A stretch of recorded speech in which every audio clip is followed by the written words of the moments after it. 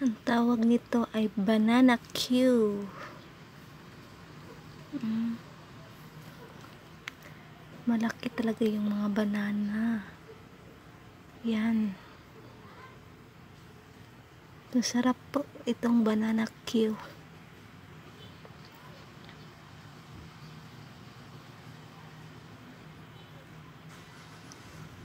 Tsaka yung banana, binigay na din yun sa amin.